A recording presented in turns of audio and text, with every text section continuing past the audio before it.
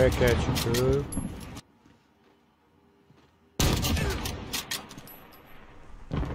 Enemy UAV overhead. There we go. Enemy UAV overhead.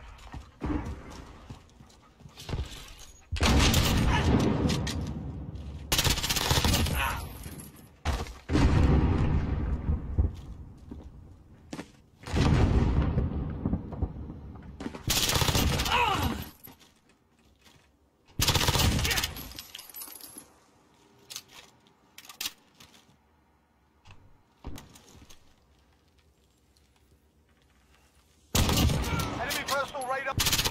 Enemy UAV overhead.